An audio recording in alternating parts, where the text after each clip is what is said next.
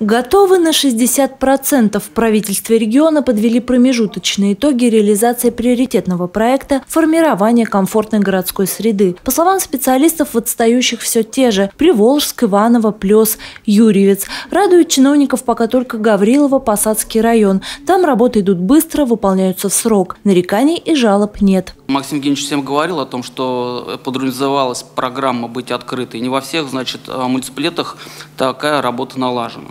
Значит, не во всех муниципалитетах, э, не во всех муниципалитетах значит, регулярно размещается информация. Благоустроено порядка 60% территорий, завершены работы в 19 муниципальных образованиях, ведутся в пяти, не начаты в трех. Некачественно проведена работа по отчетности, информация должна постоянно обновляться. Поскольку далеко не все дворы и парки прошли процедуру приемки и, соответственно, не зарегистрированы в специальной системе, в федеральных структурах статистику выполнения программы в нашем регионе отмечают как низкую. По факту из-за э, мелочной недоработки результаты своей работы не занесли в систему.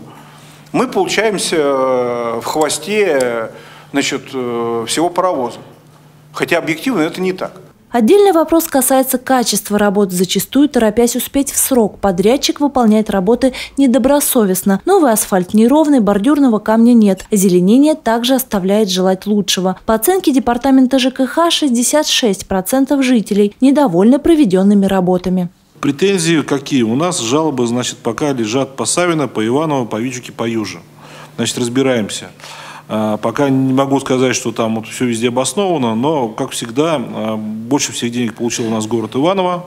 Соответственно, жалоб у нас больше всего из города Иваново, к большому сожалению. Временно исполняющий обязанности зампреда правительства Максим Громов дал подчиненным соответствующие поручения. Особенно сейчас важна информированность и вовлеченность жителей в проект. Каждый должен знать, когда и что сделают в его дворе. Мария Попова, Денис Денисов, РТВ Иваново.